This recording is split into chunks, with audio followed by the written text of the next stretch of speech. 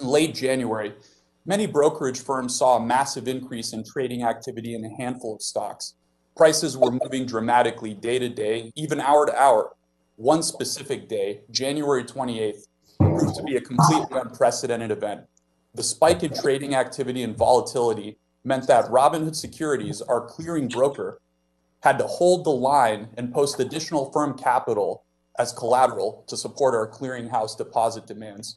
To put it in perspective, on January 28th, our daily deposit requirement was 10 times more than on January 25th. As a result, Robinhood Securities, along with many other firms, imposed temporary trading restrictions on certain securities. We began allowing limited buys of these securities the following day, and we have since lifted the restrictions entirely. There are two points I want to make clear about these temporary restrictions. First, Robinhood Securities put the restrictions in place in an effort to meet increased regulatory deposit requirements, not to help hedge funds. We don't answer to hedge funds. We serve the millions of small investors who use our platform every day to invest. Second, Robinhood immediately secured additional funds.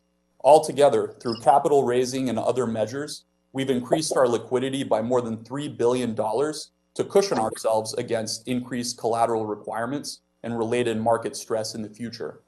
Despite the unprecedented market conditions in January, at the end of the day, what happened is unacceptable to us. To our customers, I'm sorry and I apologize.